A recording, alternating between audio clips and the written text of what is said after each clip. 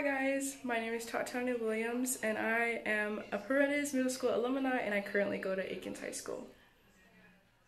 For me, Paredes is one of the greatest middle schools you can go to. Because of the band program, I currently have amazing friends um, that I have currently to this day. They really pour out so much love into their students. They truly deeply care for their students there. Um, and because of that, how much they cared. I currently want to be a band director myself.